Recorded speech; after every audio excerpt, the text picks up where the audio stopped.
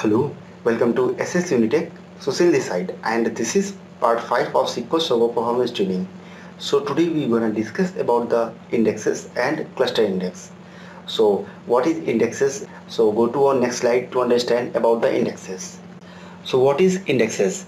So the principal purpose of an index is to speed up our data retrieval. Like we have a select statement and we are getting the data by using select statement and it is going to take a lot of time the purpose of index to, to narrow down the time. Next is indexes are created on the tables and views. Next if table doesn't have any index then query engine checks every record from the beginning to end and it's called table scan. And table scan is bad for the performance if we have a lot of data. Next if table has an index that can be increase the performance of the query this is the basic purpose of the index and let's move to next slide. So here as you can see types of indexes. So first we have cluster index then non-cluster index. So these two type of indexes mainly used in the OLTP server. So OLTP means online transaction processing. Then unique indexes then covering index then filter index then hash index then column store index. So mainly column store index is used for OLAP server that is online analytics processing then statistical indexes then full text indexes and XML indexes. So we have total 10 types of indexes in SQL server and here we will discuss about the cluster index. So go to our next slide to understand about the cluster index. So it is determined to the physical ordering of the data in the table based on the cluster index column. That's why a table can have only one cluster index. Because if we will create a cluster index on a table, table is arranged according to that cluster index.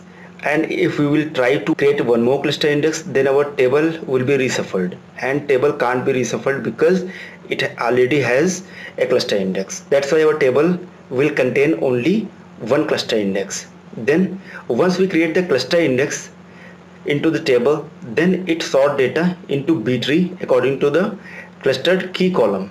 So here what is the syntax of the cluster index? Simply we need to write create clustered then the index then the index name on then the table name. Then we need to specify the columns by which we want to create the cluster index.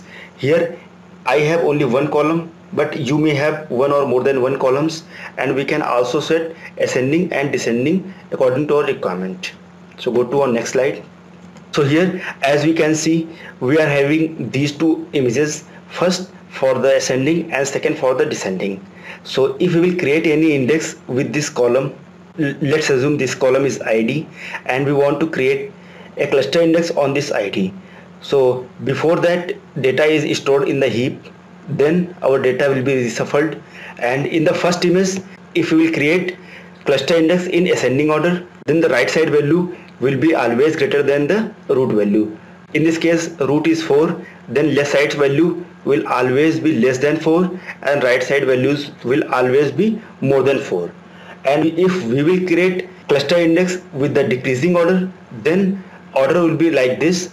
Left side values will be always more than 4 so as we can see 7 8 6 and 5 so these values are more than the 4 and right side values will always be less than the 4 as we can see 2 1 3 and 0 so this is the basic idea about the B tree. Here I just want to create a cluster index for the testing purpose. So this is the table and I want to create one more table and it will use the address. That is fine. Then we can say that tmp now let me execute this query. So it will load the data and structure but it will not going to load the constants. So if we want then we can check. We can simply press alt f1 and here it will show the information about the table. So here as we can see we don't have any constants. So we have only identity but we don't have any cluster index or non-cluster index so let me create a cluster index on this table.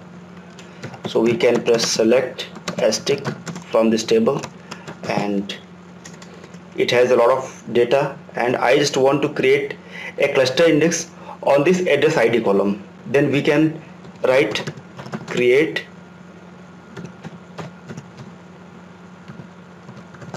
clustered index. Then the index name mainly we will start with ix and then the table name then the column name that is address id then on again table name then we need to specify the column name. So we want to create on address id let me execute this query. So index is created successfully. Now if i want to create index one more time on this table so this time i just want to create in city. And that would be again cluster index. So let me try. We will not able to create one more cluster index. So we can check. So cannot create more than one cluster index on this table.